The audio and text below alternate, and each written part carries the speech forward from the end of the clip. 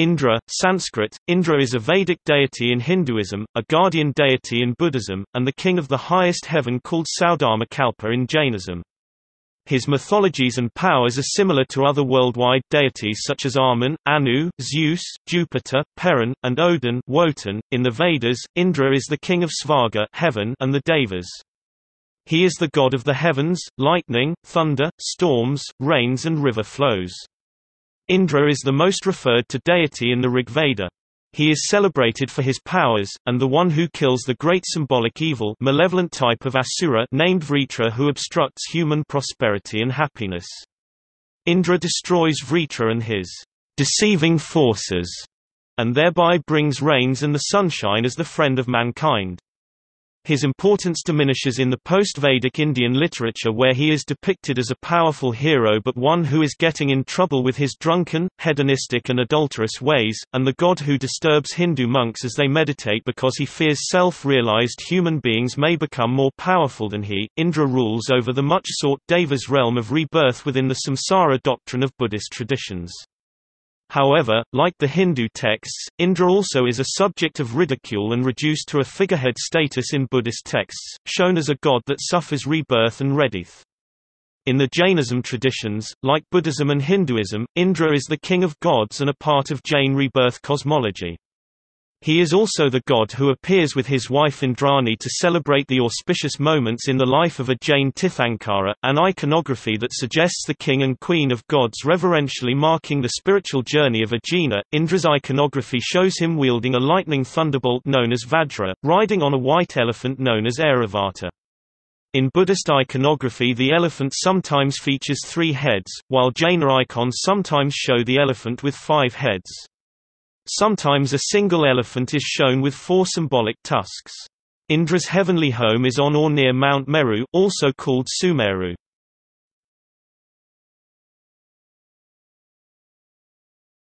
Topic: Etymology and nomenclature.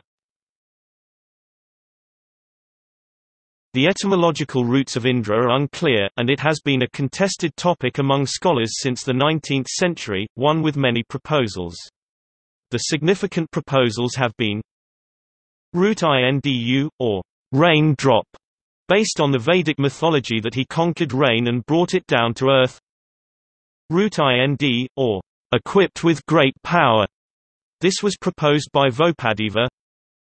Root Idh or kindle, Andina or strong. Root Inda or igniter for his ability to bring light and power indriya that ignites the vital forces of life prana. This is based on Shatapatha Brahmana Root idam dra, or its seeing, which is a reference to the one who first perceived the self-sufficient metaphysical Brahman. This is based on Aitareya Upanishad Roots in ancient Indo-European, Indo-Aryan deities for example, states John Colarusso, as a reflex of Proto-Indo-European asterisk 2n R, Greek Anna, Sabine Nero, Avestan Na, Umbrian Neris, Old Irish Nert, Ossetic Nart, and others which all refer to most manly or hero. Colonial-era scholarship proposed that Indra shares etymological roots with Zend-Andra derived from Old High German Antra, or Jedru of Old Slavonic, but Max Muller critiqued these proposals as untenable. Later scholarship has linked Vedic Indra to the European Aina the Great One, Abaza, Ubik and Inara of Hittite mythology. Colarusso suggests a Pontic origin and that both the phonology and the context of Indra in Indian religions is best explained from Indo-Aryan roots and a Circassian etymology i.e.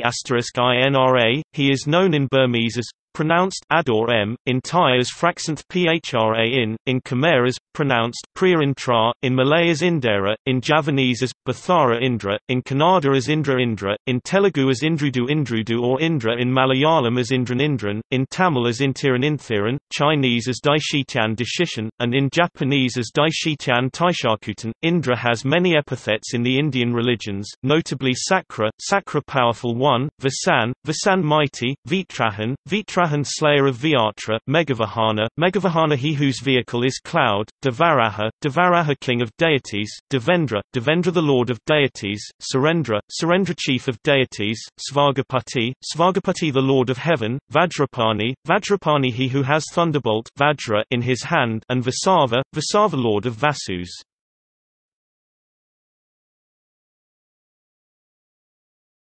Topic: Origins. Indra is of ancient but unclear origin. Aspects of Indra as a deity are cognate to other Indo-European gods, they are either thunder gods such as Thor, Perun, and Zeus who share parts of his heroic mythologies, act as king of gods, and all are linked to rain and thunder. The similarities between Indra of Hindu mythologies and of Thor of Nordic and Germanic mythologies are significant, states Max Muller. Both Indra and Thor are storm gods, with powers over lightning and thunder, both carry hammer or equivalent, for both the weapon returns to their hand after they hurl it, both are associated with bulls in the earliest layer of respective texts, both use thunder as a battle cry, both are heroic leaders, both protectors of mankind, both are described with legends about milking the cloud cows. Both are benevolent giants, gods of strength, of life, of marriage and the healing gods. Both are worshipped in respective texts on mountains and in forests. Michael Janda suggests that Indra has origins in the Indo-European asterisk trig w Walumos, or rather asterisk trig wt Walumos, smasher of the enclosure, of Vritra, Vala and Da Snutios, impeller of streams the liberated rivers, corresponding to Vedic Apam Arjus, agitator of the waters. Brave and heroic Inara or Inra, which sounds like Indra, is mentioned among the gods of the Mitanni, a Hurrian-speaking people of Hittite region. Indra as a deity had a presence in northeastern Asia Minor, as evidenced by the inscriptions on the Boghaz Khoi clay tablets dated to about 1400 BCE. This tablet mentions a treaty, but its significance is in four names it includes reverentially as Mi at Ra, U Ru W Na, in Da Ra and Na Sa at T Iowa. These are respectively, Mitra, Varuna, Indra and Nisaturasvin of the Vedic pantheon as revered deities, and these are also found in a Avestan pantheon but with Indra and Naunhatya as demons. This at least suggests that Indra and his fellow deities were in vogue in South Asia and Asia Minor by about mid-2nd millennium BCE. Indra is praised as the highest god in 250 hymns of the Rigveda, a Hindu scripture dated to have been composed sometime between 1700 and 1100 BCE. He is co-praised as the supreme in another 50 hymns, thus making him one of the most celebrated Vedic deities. He is also mentioned in ancient Indo-Iranian literature, but with a major inconsistency when contrasted with the Vedas. In the Vedic literature, Indra is a heroic god. In the Avestan ancient, pre-Islamic Iranian, texts such as VD, 10.9, DK, 9.3 and GBD 27.6 to 34.27, Indra, or accurately Andra, is a gigantic demon who opposes truth. In the Vedic texts, Indra kills the archenemy and demon Vritra who threatens mankind. In the Avestan texts, Vritra is not found, Indra is called Vritrahan literally, slayer of Vritra demon, in the Vedas, which corresponds to Verithragna of the Zoroastrian noun Verithragna. According to David Anthony, the Old Indic religion probably emerged among Indo-European immigrants in the contact zone between the Zarafshan River present-day Uzbekistan and present-day Iran. It was a syncretic mixture of Old Central Asian and New Indo-European elements, which borrowed distinctive religious beliefs and practices from the Bactria Margiana culture. At least 383 non-Indo-European words were found in this culture, including the god Indra and the ritual drink soma. According to Anthony, Many of the qualities of Indo-Iranian god of might, victory, Verithragna, were transferred to the god Indra, who became the central deity of the developing Old Indic culture. Indra was the subject of 250 hymns, a quarter of the Rig Veda. He was associated more than any other deity with soma, a stimulant drug, perhaps derived from ephedra, probably borrowed from the BMAC religion. His rise to prominence was a peculiar trait of the Old Indic speakers.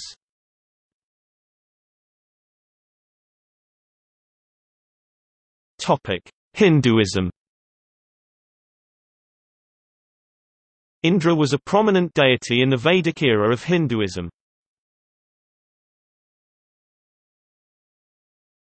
Topic: Vedic texts. Over a quarter of the 1,208 hymns of the Rigveda mention Indra, making him the most referred to deity than any other. These hymns present a complex picture of Indra, but some aspects of Indra are oft repeated.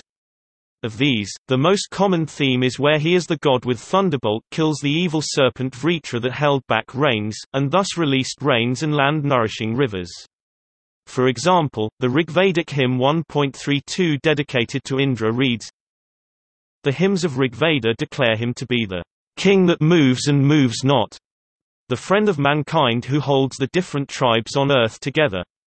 In one interpretation by Oldenberg, the hymns are referring to the snaking thunderstorm clouds that gather with bellowing winds Vritra. Indra is then seen as the storm god who intervenes in these clouds with his thunderbolts, which then release the rains nourishing the parched land, crops and thus humanity.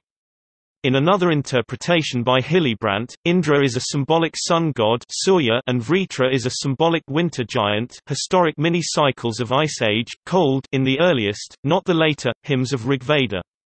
The Vritra is an ice demon of colder Central Asia and northern latitudes, who holds back the water. Indra is the one who releases the water from the winter demon, an idea that later metamorphosed into his role as storm god.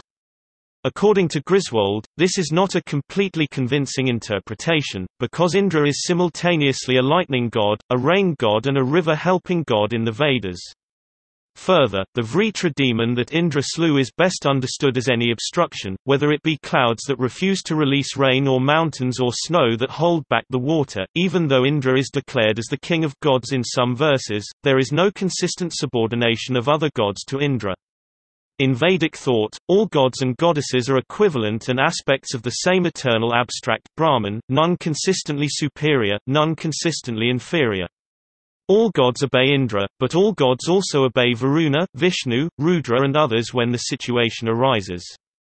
Further, Indra also accepts and follows the instructions of Savita solar deity. Indra, like all Vedic deities, is a part of henotheistic theology of ancient India. Indra is not a visible object of nature in the Vedic texts, nor is he a personification of any object, but that agent which causes the lightning, the rains and the rivers to flow. His myths and adventures in the Vedic literature are numerous, ranging from harnessing the rains, cutting through mountains to help rivers flow, helping land becoming fertile, unleashing sun by defeating the clouds, warming the land by overcoming the winter forces, winning the light and dawn for mankind, putting milk in the cows, rejuvenating the immobile into something mobile and prosperous, and in general, he is depicted as removing any and all sorts of obstacles to human progress. The Vedic prayers to Indra, states Jan Gonda, generally ask, "...produce success of this rite, throw down those who hate the materialized Brahman." Indra is often presented as the twin brother of Agni fire, another major Vedic deity. Yet, he is also presented to be the same, states Max Muller, as in Rigvedic hymn 2.1.3, which states, Thou Agni, art Indra, a bull among all beings, thou art the wide-ruling Vishnu, worthy of adoration. Thou art the Brahman.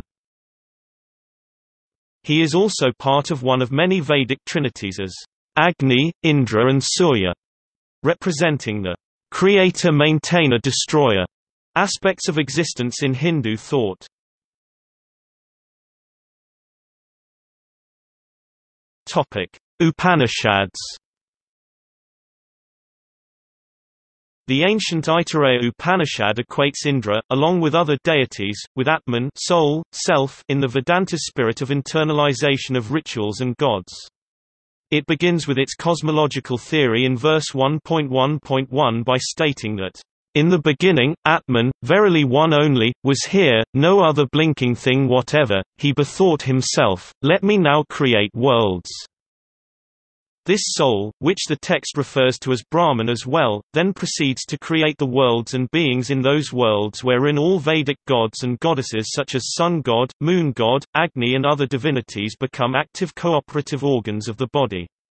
The Atman thereafter creates food, and thus emerges a sustainable non-sentient universe, according to the Upanishad. The eternal Atman then enters each living being making the universe full of sentient beings, but these living beings fail to perceive their Atman. The first one to see the Atman as Brahman, asserts the Upanishad, said, Idam Adarsha or, I have seen it. Others then called this first seer as Idam Dra or, its seeing, which over time came to be cryptically known as Indra, because, claims Aitareya Upanishad, everyone including the gods like short nicknames. The passing mention of Indra in this Upanishad, states Alain Daniélou, is a symbolic folk etymology. The section 3.9 of the Brihadaranyaka Upanishad connects Indra to thunder, thunderbolt and release of waters. In section 5.1 of the Avyakta Upanishad, Indra is praised as he who is embodies the qualities of all gods.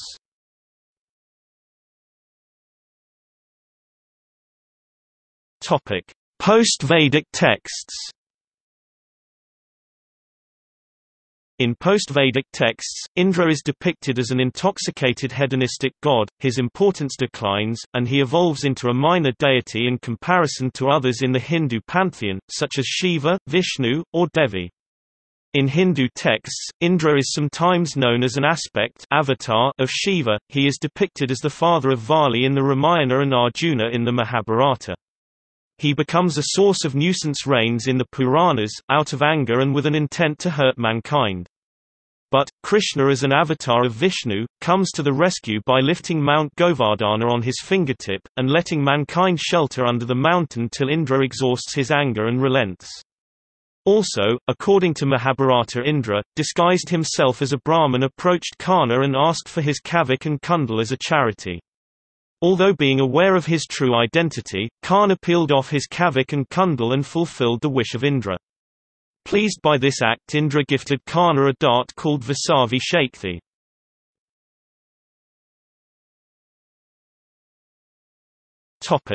Sangam literature 300 BCE to 300 AD Sangam literature of the Tamil language contains more stories about Indra by various authors. In Silappatikaram Indra is described as Malia Venkadai Manavan, Malaivan Kutai Manavan literally meaning Indra with the pearl garland and white umbrella. The Sangam literature also describes Indhira Visa festival for Indra, the festival for want of rain, celebrated for one full month starting from the full moon in Uttrai later name, Sitirai and completed on the full moon in Puyaji Vaikasi which coincides with Buddhapurnima. It is described in the epic Kilapatikaram in detail. Topic: Relations with other gods. In the Hindu religion, he is married to Shachi, also known as Indrani or Pulomaja. Indra and Shachi have two sons, Chitragupta and Jayanta, and two daughters, Jayanti and Devasena. Goddess Jayanti is the spouse of Shukra, while goddess Devasena marries the war god Kartikeya.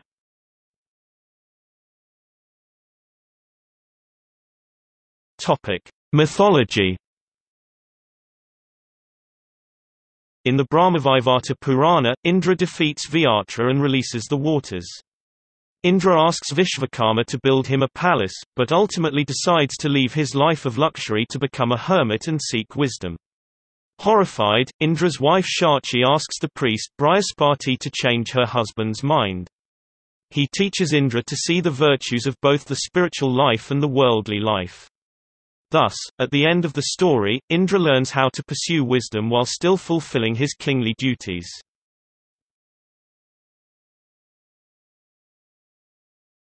Topic: Iconography. In Rigveda, Indra is described as strong-willed, armed with a thunderbolt, riding a chariot. May the strong heaven make thee the strong wax stronger, strong, for thou art borne by thy two strong bay horses. So, fair of cheek, with mighty chariot, mighty, uphold us, strong-willed, thunder-armed, in battle. Indra's weapon, which he used to kill evil Vritra, is the Vajra or thunderbolt. Other alternate iconographic symbolism for him includes a bow sometimes as a colorful rainbow, a sword, a net, a noose, a hook, or a conch. The thunderbolt of Indra is called Baudara. In the post-Vedic period, he rides a large, four-tusked white elephant called Airavata. In sculpture and relief artworks in temples, he typically sits on an elephant or is near one. When he is shown to have two, he holds the Vajra and a bow. In the Shatapatha Brahmana and in Shaktism traditions, Indra is stated to be same as goddess Shodashi Tripura Sundari, and her iconography is described similar to those of Indra. The rainbow is called Indra's bow Sanskrit, Indradhanus Indradhanus.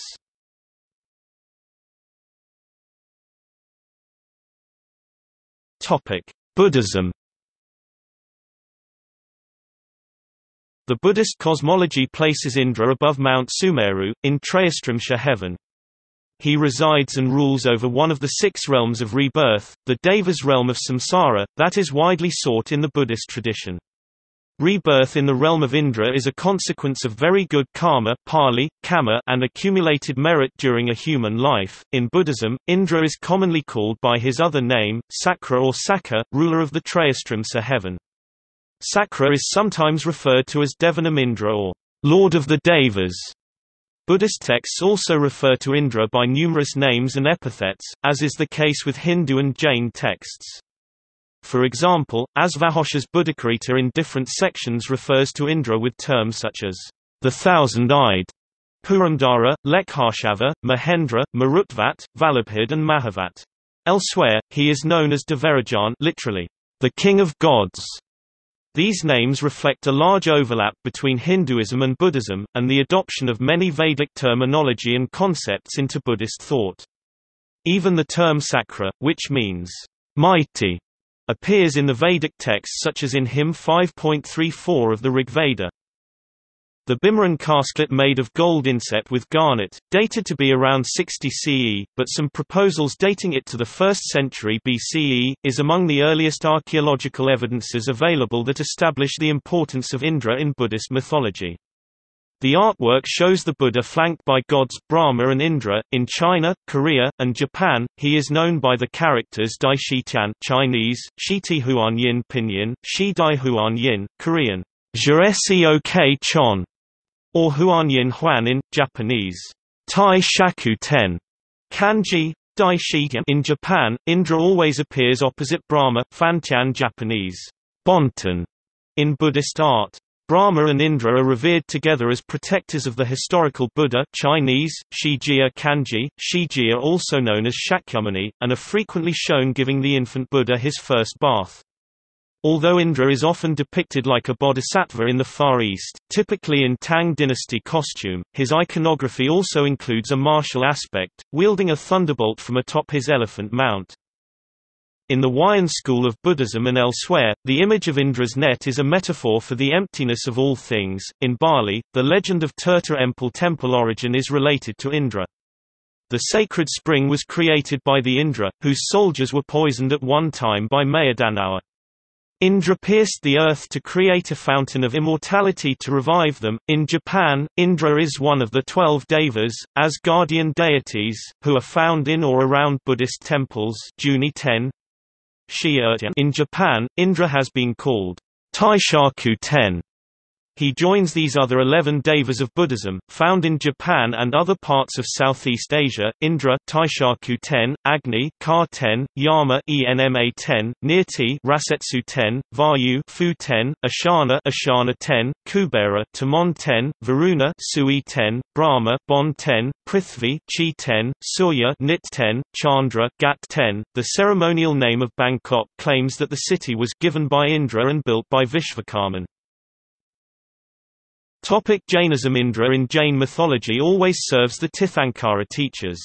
Indra most commonly appears in stories related to Tirthankaras, in which Indra himself manages and celebrates the five auspicious events in that Tirthankara's life, such as Chavan Kalyanak, Janma Kalyanak, Diksha Kalyanak, Kevala Jnana Kalyanak, and Moksha Kalyanak. There are 64 Indras in Jaina literature, each ruling over different heavenly realms where heavenly souls who have not yet gained Kaivalya moksha are reborn according to Jainism.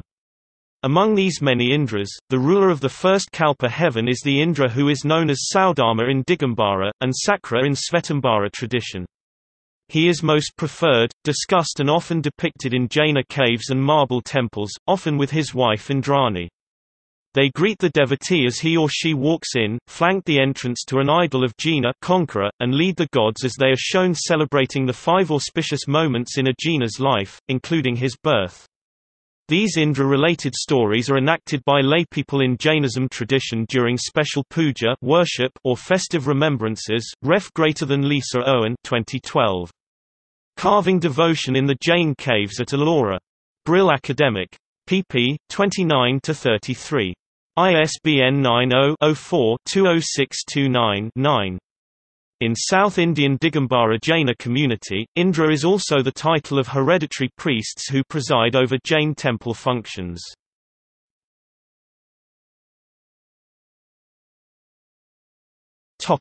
See also Notes